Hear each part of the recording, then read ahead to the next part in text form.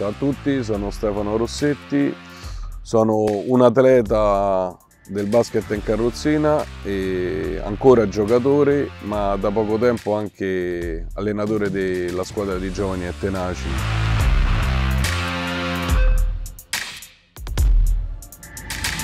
Io ho iniziato a giocare nel 1992 dopo aver subito un incidente di, di moto. E dal 92 fino al 2016 sono stato un giocatore della Serie A del Santa Lucia e grazie anche alla fondazione e a tutto quello che mi è stato messo a disposizione ho fatto anche per 20 anni parte della nazionale italiana. Il mio rapporto con i ragazzi è un rapporto soprattutto di sincerità.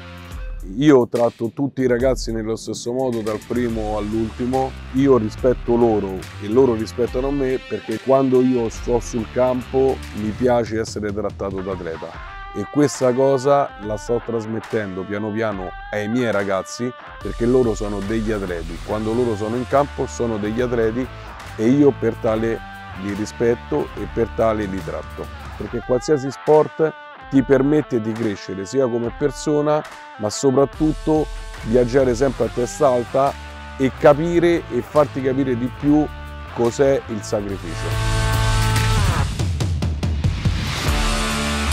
Io non sono certo un allenatore papà, per me l'allenatore deve avere una sua mentalità, la mia mentalità è del bastone e carota, ma sono fiero di questo e i miei ragazzi sicuramente, come tutte le persone quando vengono riprese, in, in quel momento, in quel frangente mi odieranno pure, ma poi loro vedono che eh, nello stesso tempo quando fanno le cose fatte bene vengono gratificati e penso che mi vogliono anche un pochettino di bene. Ho 4-5 ragazzi che fanno parte della nazionale under 21 dei maschi e una ragazza che fa parte della nazionale femminile. Sicuramente il loro coinvolgimento è pure grazie al mio famoso bastone e carota. Il gioco è uguale, la differenza poi a livello tecnico è che per noi sono fondamentali i blocchi. La differenza sostanziale è che noi abbiamo una carrozzina e chi sta in piedi non ce l'ha. I canestri sono alti uguali a 3,05 m, il campo è uguale, tutte le linee di delimitazione del campo e interne al campo sono identiche. Sport paralimpici hanno avuto un'evoluzione grandissima dal 1992 ad oggi. Mi ricordo che quando ho iniziato io c'erano dei piccoli articoli che parlavano sui giornali, le televisioni non parlavano quasi mai se non che solo le televisioni private.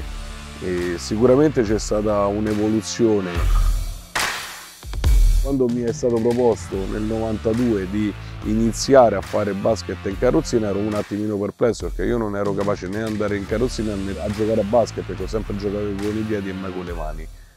Ho trovato della gente e dei compagni che poi si sono manifestati compagni di squadra che mi hanno aiutato su questo. Noi come giovani e tenaci facciamo un lavoro specifico andando anche nelle scuole e di conseguenza coinvolgere anche i ragazzi. Quando ho iniziato io questo non, non, veniva fatto, anche perché se adesso ci sono qualche scuola che gli permette di fare un po' di attività anche in carrozzina, prima era assolutamente vietato.